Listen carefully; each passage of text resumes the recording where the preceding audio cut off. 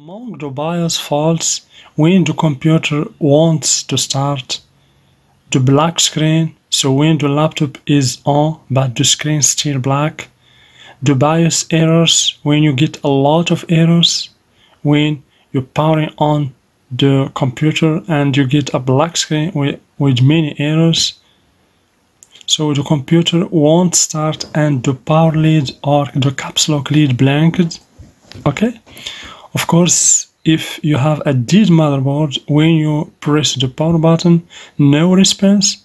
But when you check the voltages, you find that all voltages are correct. Okay, you find the 3 volt, the 5 volt, the 19 volt is good in the power jack. The 3 volt is present in the pin number 8 of the BIOS. So all component, all chips, no hits, no hot chip all components seems to be good. The motherboard is not broken. You check the connectors. You find that all the connectors is not damaged. All voltages is present but the problem still here. The motherboard is dead means 100% you should reprogram the BIOS. You have a corrupted file inside the BIOS okay? So another failure now is no data in the computer screen. When you get a computer, the computer is powered on or LED are on, but no data in the screen. The screen can be a black screen, a white screen, a blue screen, a green screen, okay, but no data. This means the problem is in the BIOS. You have a corrupted file. You should reprogram the BIOS, okay? After that, the next failure is the beeps. When you power on your computer, you hear a lot of beeps. Okay? Of course, these beeps means there is a problem somewhere. But the problem can be in the RAM. Maybe the RAM chip are not installed correctly, correctly in its slots. Maybe you have a problem with the hard disk drive. Maybe the graphic card. Maybe some connectors are not connected correctly.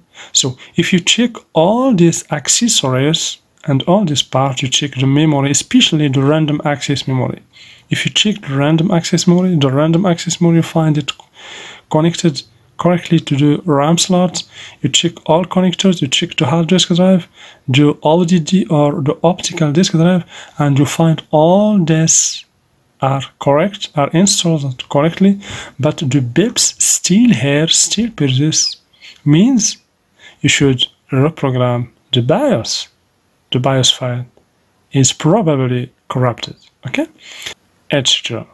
Okay, what we need to program the BIOS? The four major part that is important if you want to reprogram the BIOS IC is the BIOS IC itself. Okay, so Sometimes you should remove or you have to remove the BIOS IC from the motherboard and put it in a specific adapter and then put it in the programmer. And sometimes you can just use a clip. There is some motherboard or some programmer that contain a clip like this. So in this case, you can just let the BIOS installed in the motherboard without removing it and just go ahead and connect this clip directly to the motherboard to the BIOS in the motherboard and then connect the programmer to the laptop and then you can program it okay? Of course we have the BIOS IC we have the programmer and the software. So the software is here the one of the main important parts because here we have the firmware okay? So to transfer this fir firmware to the BIOS IC of course you need the programmer and you need an interface. To interface the software interface is this. This is the software. Through this software this firmware will go here to the BIOS IC and of course through the program. So you will need to program the BIOS, you will need the BIOS IC itself, the programmer, the software, and the firmware. The firmware is basically the the serviceable file. Okay, the serviceable file. So you will find this. The extension of this firmware is usually binary or hex. Okay, so hex or binary. Okay, to reprogram the BIOS, you will need the file or the firmware. But of course, you should look for the firmware. You can't find the firmware when you go to Google. You can just type the reference of the firmware, for example, the model of the laptop or computer, then type BIOS firmware, and you can get the firmware automatically. But sometimes you cannot find the binary, the firmware with binary with bin extension. So in this time, you should maybe you should buy the firmware somewhere in a website or I teach you a trick that you can use to convert an executive file to a binary file because executive file always exists always exists okay? You can just go to google and for example type the laptop the model of the laptop or of the computer and drivers and among the drivers you will find the BIOS driver but executive file. So I teach you using some commands how to convert an executive file that has an extension AXA extension to a bin file or a binary file. So you should open the cmd window the command window. So you can just press from the keyboard windows r okay as you can see and then the run windows will be opened for you okay. Then you can just type cmd okay and press enter and you will get as you can see the cmd windows. And in the cmd windows you should type the first command is cd then the path of the folder. Then you should press enter. Then you will type rename star dot star space dot star dot point bin or binary and then press enter. And automatically the AXA file or the executive file will be converted to the bin file. Okay. So here for example this is the amazon website.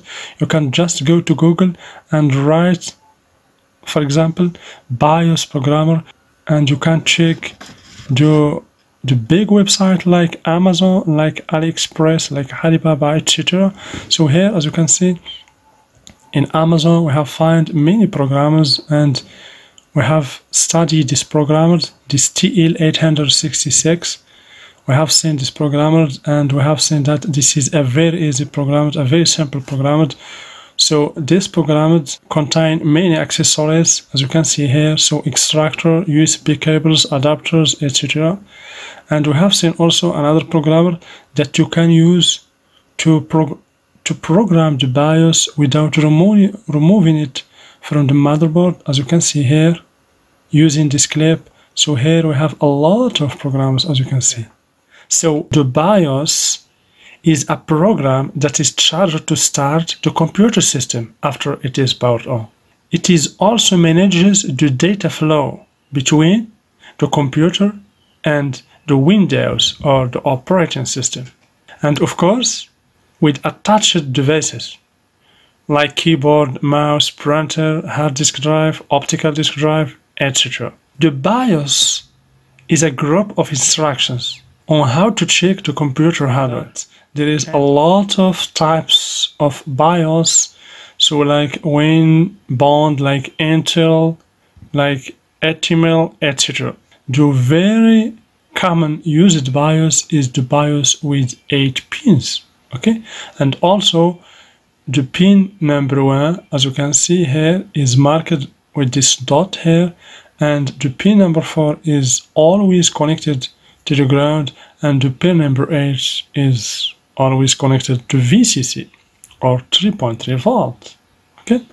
The BIOS sizes. And I teach you that in order to know about the BIOS sizes, you should read the reference above the body of the BIOS. So here we have the sizes. When you find one in the reference, that means the size of BIOS is 128 kilobyte. So 2 megabit means 256 kilobyte.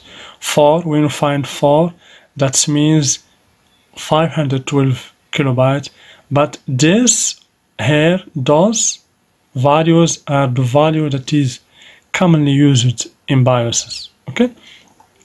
So when you find 8 megabit in the BIOS when you find for example 25Q8 or 16 or 32 or 64 megabit that means this values. So 8 megabit equal 1 megabyte 16 megabit equal 2 megabyte 32 megabit equal 4 megabyte and 64 megabit equal 8 megabyte. You know why? Because 8 bit equal 1 byte. Okay? That's why when we convert from the megabit to megabyte we divide it by 8 okay? So of course here we have other values like 128 megabit that equals to 60 megabyte and 256 megabits equal to 32 megabytes okay?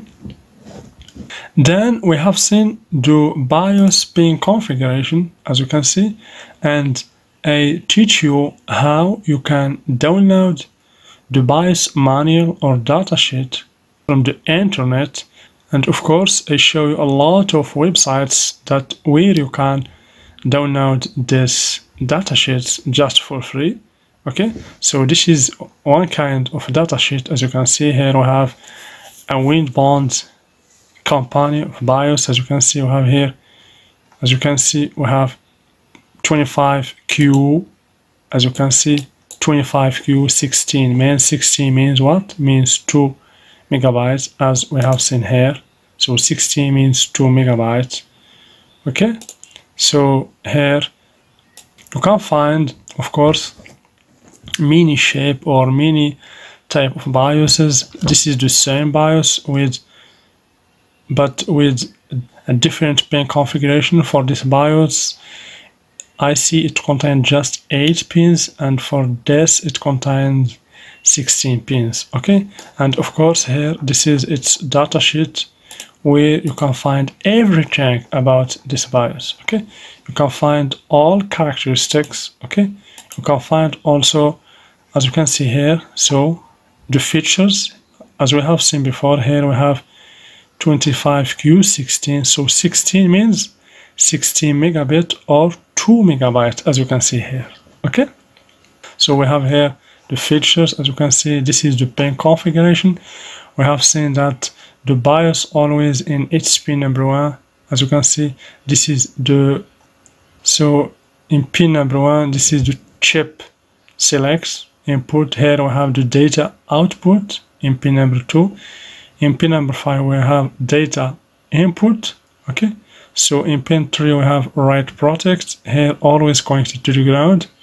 So in pin 6 we have the clock okay so in pin 7 as you can see this is the hold the data input output this is the hold input output and here the VCC to power supply. Always the VCC for this kind of BIOSes is 3.3 volts okay? For the other kind of BIOSes as you can see with 16 pins this is its pin configuration as you can see. So the VCC is in pin number 2 as you can see. And here all these four pins means not connected. These pins are not used. Here we have the chip select. Of, course here we have hold. This is the data output. Here we have the clock in pin number 16 so data input okay. Here all these pins are not connected. So we have ground and we have the write protects okay. The same pin configuration okay as you can see no connect or not connected. Okay